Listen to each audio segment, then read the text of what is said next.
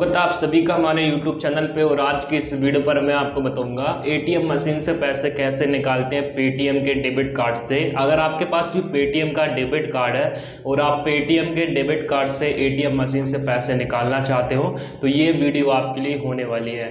आज की इस वीडियो पर मैं आपको सिखाऊँगा स्टेप बाय स्टेप कि आप पेटीएम के डेबिट कार्ड से एटीएम मशीन से पैसे कैसे निकाल सकते हो। तो आज की इस वीडियो को आप लास्ट तक वॉच करिएगा। अगर आप इस चैनल में पहली बार हो, चैनल को सब्सक्राइब करके आइकन दबा देना।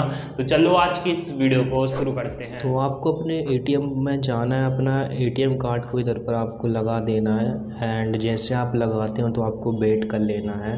एंड जैसे आप वेट करते हो तो इधर पर लैंग्वेज सेलेक्ट करने के लिए बोलेगा।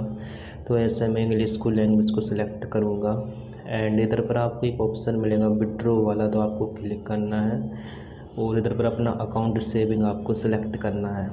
जैसे आप सेलेक्ट कर लेते हो तो आपको इधर पर सेलेक्ट वाले ऑप्शन में क्लिक करना है और आपसे अमाउंट लिखने के लिए बोलेगा आपको जितना भी पैसा निकालना है उतना पैसा आपको इधर पर लिख देना है। जैसे कि मैं दो हज़ार रुपये को इधर पर लिख देता हूँ। जैसा कि आप देख सकते हो, दो हज़ार रुपये टाइप कर दूँगा एंड करंट वाले ऑप्शन में आपको क्लिक करना है, देख सकते हो। एंड जैसे आप क्लिक करोगे तो आपको प्रोसेस यस पे क्लिक करना है और आपका जो भी डेबिट कार्ड का पिन है, जो आपका पिन है, वो आपको पिन दे देना है। तो आपका पिन मांगा जाएगा एंड आपको इधर पर क्लिक करना है पिन वाले ऑप्शन में। और जैसे आप क्लिक करोगे, अब आपको कर लेना वेट जैसे कि मैं वेट कर लेता हूँ, अब इधर पर हमारे पैसे निकलने वाले हैं। तो इधर पर हम वेट कर लेते हैं एंड इधर पर आप देख सकते हो,